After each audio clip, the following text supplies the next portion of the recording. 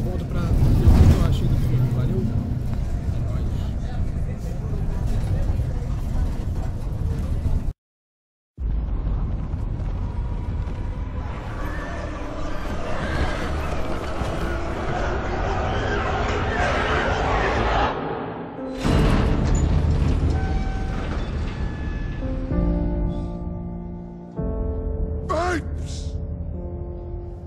É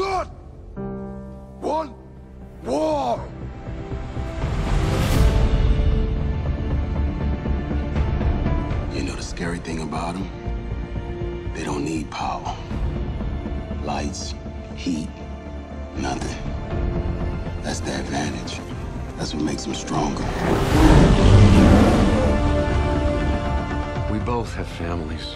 You want to protect yours. I want to protect mine. It's our only chance for peace. Are you aware? No! They are going to turn on you. They're animals! Caesar, it's your home. Who was that? A good man like you. Caesar love humans more than apes. If you threaten his family, he will retaliate. Don't shoot! Don't you move! Should we shoot him? Maybe. Oh, hey, whoa, hey, hey, hey. Oh, you want a drink? Oh, All right. Easy. Easy. All right.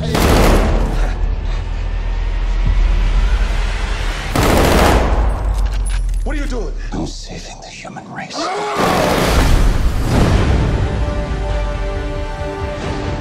my god. We made contact! Military! They're already on their way! Caesar, you have to go. Go where? This is my home.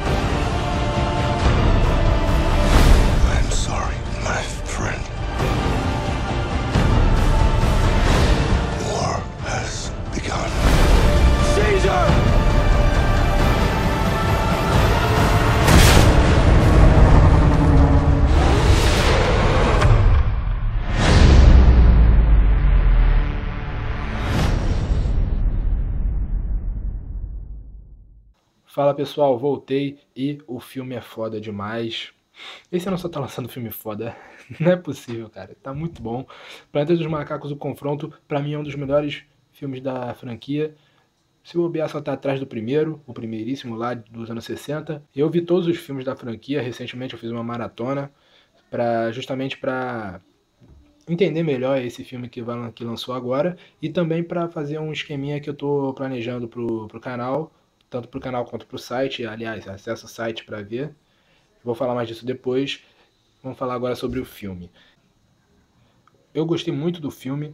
Ele mostrou bastante uma coisa muito, muito maneira sobre o preconceito entre os humanos e os macacos. Mostrou a sociedade dos macacos se começando a se construir, ainda numa forma tribal, como se fosse a evolução mesmo, né? Enquanto os humanos lutam para sobreviver, tentar se reerguer depois desse apocalipse que teve, né? Muitos poucos humanos é, estão sobraram, né? Foi meio que uma sobrou meio que uma comunidade, uma irmandade lá.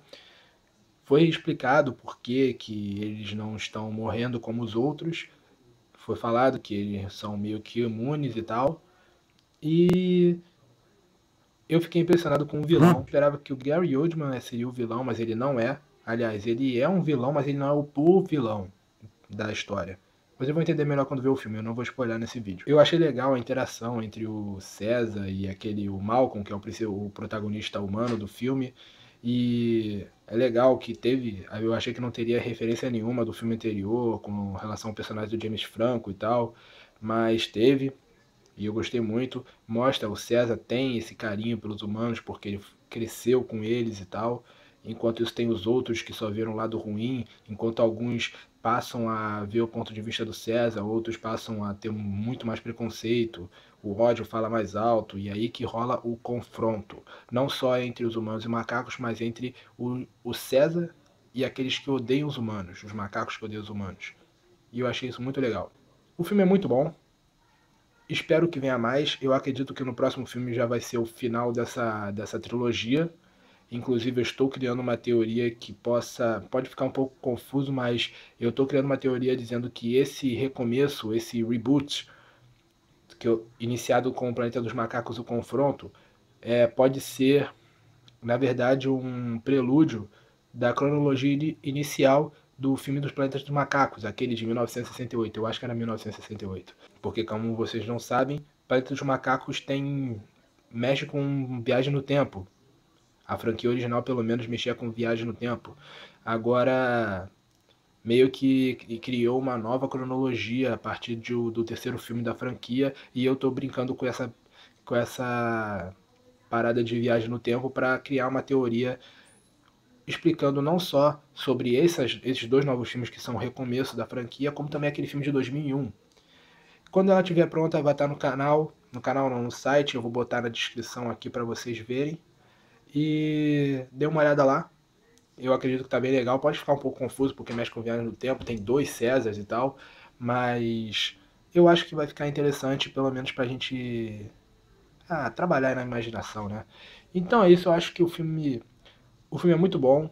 Tô na expectativa do próximo filme que eu, eu acredito que já vai sair logo, né? Pelo menos deve demorar, eu chutaria 2017 pro próximo filme.